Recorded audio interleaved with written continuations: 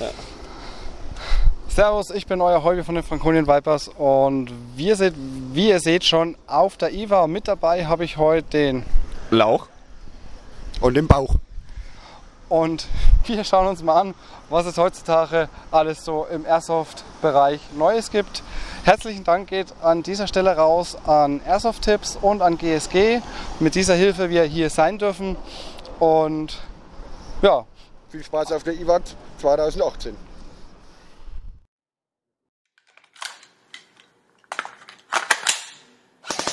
Wer hat den dicksten? FV! Danke!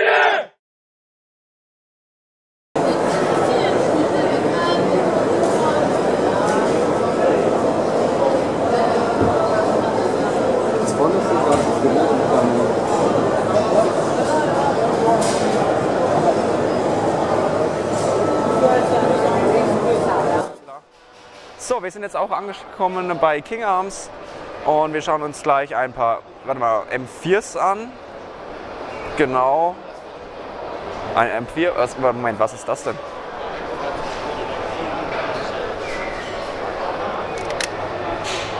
Fangen wir gleich mit der an. Ist eigentlich, glaube ich, am, am interessantesten von allen.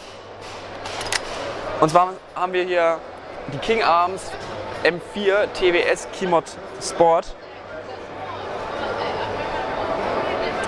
Und zwar ist es so, dass es aufgebaut ist wie eine AR-15 M4 Basis, eben aber allerdings mit MP5 Magazine. Hier passen auch sämtliche MP5 Magazine, ist eine ähm, Gearbox mit V2, ist verbaut, mit MOSFET äh, ist drin, genau, wird empfohlen mit einem 11.1er.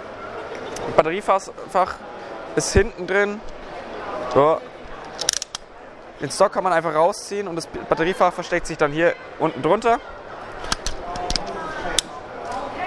Das zudem. Ganz lustig, wir sind, bewegen uns hier im Low-Budget-Bereich, auch bei den allen anderen. Ähm, uns wurde gesagt, dass die ähm, TWS Keymod Sport bei 140 Dollar liegen soll. Also so wird es gesagt. Das ist natürlich abhängig von den Shops noch, also da wird sich noch ein bisschen was ändern am Preis. Nehme ich an. Was gibt es noch großartig dazu zu sagen? Wir haben 90 Grad Trigger, eben mit dem MOSFET. Dementsprechend haben wir ein gutes Ansprechverhalten. Wir bewegen uns hier für, bei Waffen für Einsteiger. Jedoch ist es auch so, äh, dass auch eine Vollmetall Ende dieses Jahres noch erscheinen soll. Momentan ist nämlich alles aus Kunststoff gefertigt, äh, außer natürlich die, das M-Block-System, sowohl bei den anderen auch komplett Kunststoff und vorne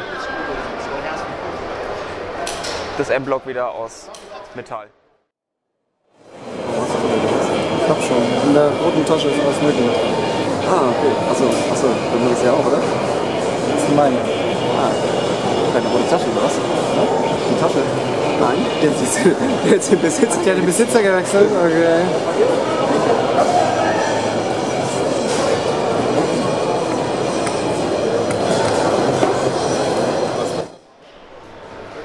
So, wir sind immer noch bei King Arms. Da M4 ein bisschen langweilig jetzt wird mit der Zeit, da wir so wenige sehen, haben wir uns überlegt, wir schauen uns was an, was wir bisher noch gar nicht hatten. Und zwar, wir haben hier M19L Custom Modelle. Ähm, CO2 Green Gas von King Arms eben. Die sind meiner Meinung nach auch schon erwerbbar. Zumindest die meinte ich, habe ich schon mal gesehen bei einem Online-Shop.